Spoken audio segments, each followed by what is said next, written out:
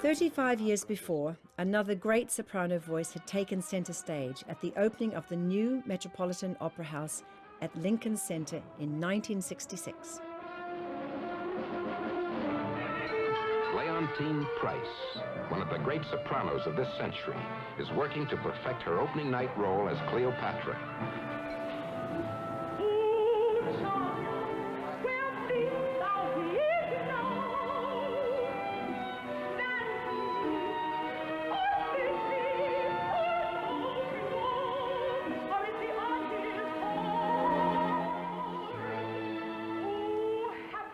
Leontyne Price's voice is very special. I remember hearing her sing here in New York. Along with her beautiful voice, she had a strong and confident stage presence. The amazing costume that she wore for the role of Cleopatra is kept in the Met's archive. Glorious piece. piece for in Antony and Cleopatra. And as everyone wants to do, they want to put it on, right? And I most it'd often be you can't. wonderful to see if you and can so, try that so I take the liberty of being able to put it on. Isn't it stunning? That looks terrific. Actually, wore what Matches your- Leontyne wore.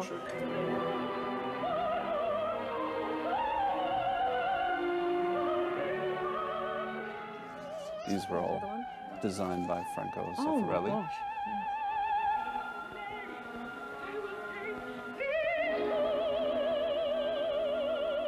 To sing is the most human of the art form delivery, more than perhaps an instrument which has to be tuned mechanically.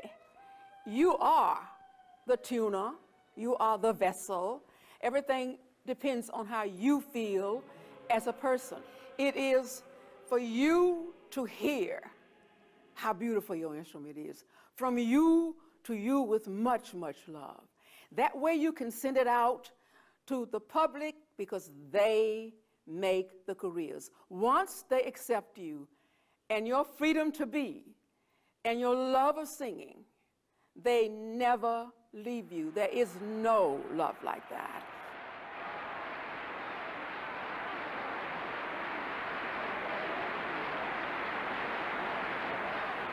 For Leontyne Price, the night was a spectacular triumph before an audience clearly thrilled by her singing.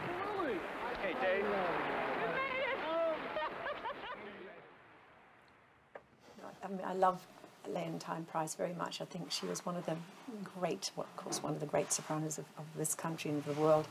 But um, she was one of the people that we followed, like Joan Sutherland. We young singers were following these great singers, and, and, and lots of people are now following me, and people are following like Renee Fleming and these lovely singers. And we're just like the Pied Piper leading our little singers to the mountain.